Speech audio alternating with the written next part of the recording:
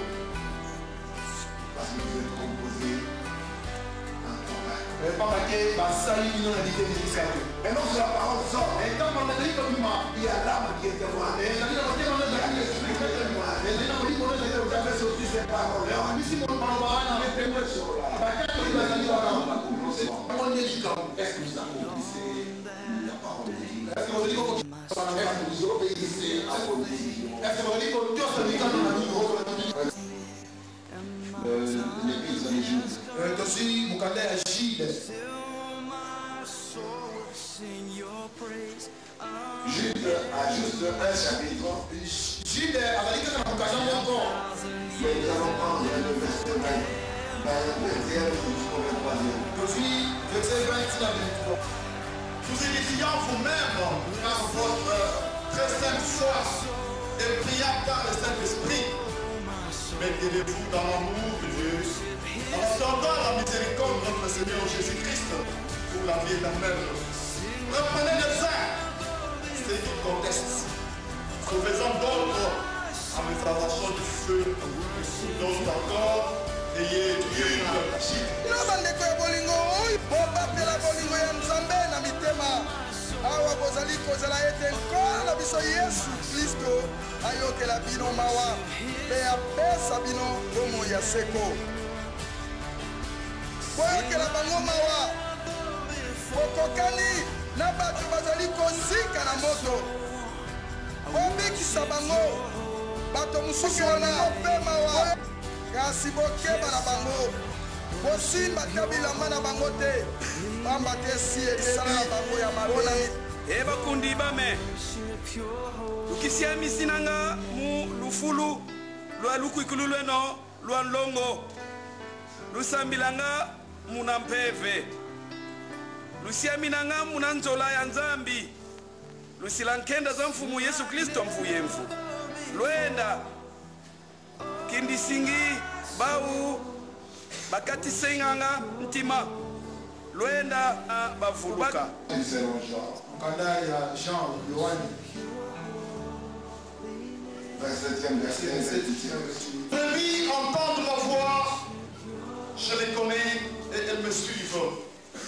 Je leur donne la vie eternelle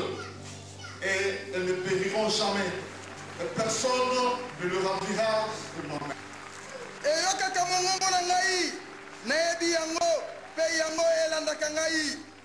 Napesi yango bomoi ya seko,